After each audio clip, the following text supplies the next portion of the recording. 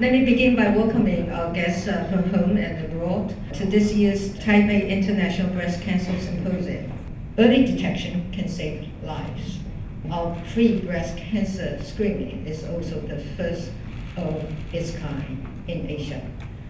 My administration is committed to advancing the research to better prevent, diagnose, and treat this disease. I am pleased to learn that the theme of this year's symposium is caring, commitment, and the best treatment for the patients of breast cancer.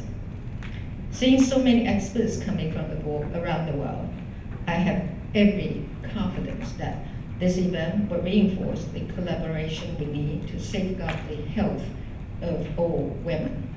I trust that together we will explore more treatment methods, ways to make treatments more effective, and improve the quality of life for people fighting breast cancer. I want to close by acknowledging our medical experts, civil organizations, and many breast cancer survivors. Their dedication and contribution have carried Taiwan's breast cancer prevention and treatment forward.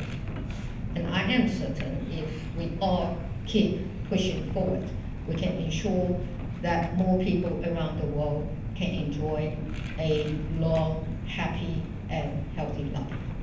I wish this symposium every success and our guests continued health. Thank you.